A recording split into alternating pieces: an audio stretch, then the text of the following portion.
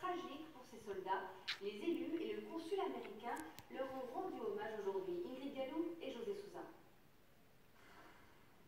Cent ans après la fin de la Première Guerre mondiale, le bourdonnement des hydravions se fait à nouveau entendre sur l'ancienne base aéronavale américaine de Saint-Trojan.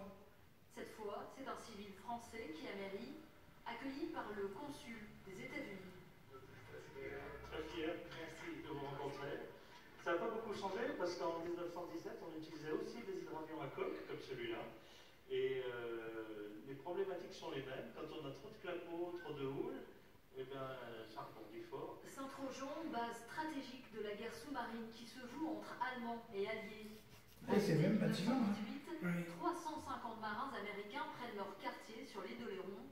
Leur mission, protéger l'embouchure de la Gironde et le port de la Palisse. ces gars-là vont, vont aussi marquer un peu la vie du pays, parce qu'il va y avoir, il va y avoir des mariages, euh, il y en a qui, sont- qui sont partis, il y a des, jeunes filles d'ici qui sont parties aux États-Unis, mais il y en a, d'autres qui, vont- qui ont laissé leur vie à, à Oléron. Très vite, pourtant, le sort s'acharne sur la base américaine aux allures de petit paradis. La grippe espagnole d'abord, une tragique explosion ensuite. Le 20 août 1918, une bombe placée sous l'aile d'un ULM explose, emportant 8 soldats.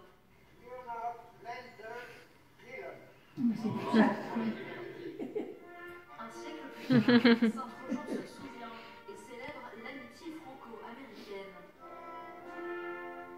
Une tragédie qui vient rappeler l'ampleur de l'engagement américain. Plus de 2 millions ont servi ici en France pendant euh, le conflit, euh, dont euh, euh, c'est 100 000, euh, 116 000, excusez-moi, ont, perdu, ont perdu leur vie. En 146 missions, mais entre maladies et tragédies, Saint-Trojan restera dans l'histoire comme la plus meurtrie des 27 bases américaines en Europe. C'est l'heure de retrouver notre page.